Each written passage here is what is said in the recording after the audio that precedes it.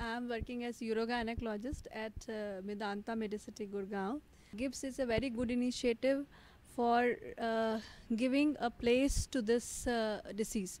This disease is still, uh, you know, uh, not recognized among, you know, co um, among gynecologists as well as uh, urologists. And even you know general practitioners even don't know the term that this is uh, uh, existence of this disease. So it's a good initiative uh, by doing these kinds of uh, you know meetings and by making a guideline or something you know how to diagnose this condition how to treat this condition we can actually uh, not only make this disease recognizable and as well as we can tell uh, you know doctors that uh, they can treat even treat these patients. So this is an initiative. I think this is the first step we are doing.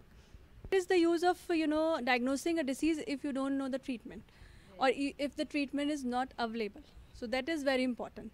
And uh, this is only this is the only FDA approved treatment of this condition. So availability of this medication in India is a you know the best thing, and that's why I appreciate you people that you did this.